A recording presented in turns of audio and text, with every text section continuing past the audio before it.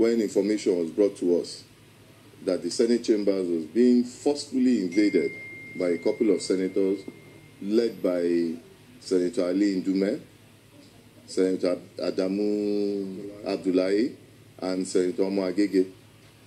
And the aim of their invasion of the Senate, while senators are busy on, have gone on recess, they wanted to invade the Senate chambers to come and sit illegally and impeach the, the Senate president illegally when everybody is out on recess.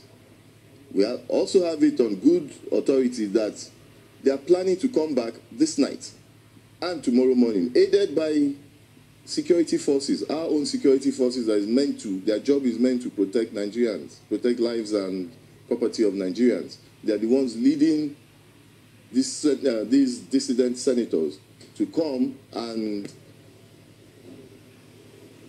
I'm looking for the right word to use because they want to truncate democracy.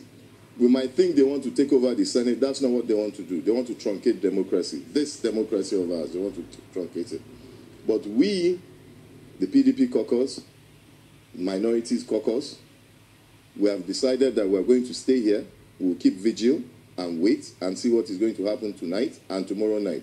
We're calling on all Nigerians to stay awake with us because this is not a rape on the National Assembly. It's a rape on democracy, which concerns you and I, all of us. And if we allow this to happen, then we might as well go back to when we had the military junta. And we should all forget about democracy. So please, that is why we said we will tell the people, we have to tell Nigerians what is happening. We are right here in National Assembly, it is 6 o'clock.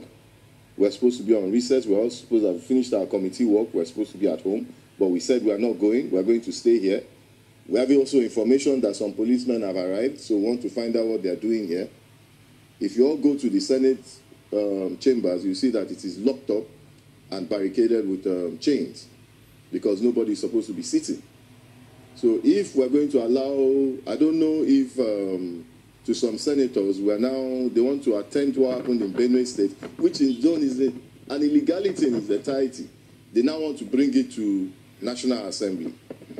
So that will show you what our leadership, the leadership of the country, the, the executive, has, what they want to turn this country into.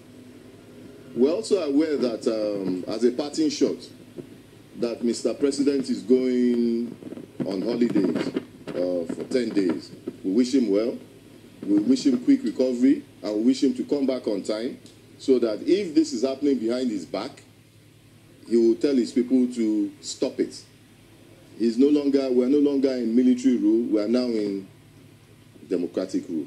So we have to, we all, we all swore to uphold the constitution and to uphold this democracy, including himself. So he should be here and he should watch it go. By right, he shouldn't even go with this kind of thing happening. But because we know the situation, we're wishing him well that he should go and come back on time. Thank you very much.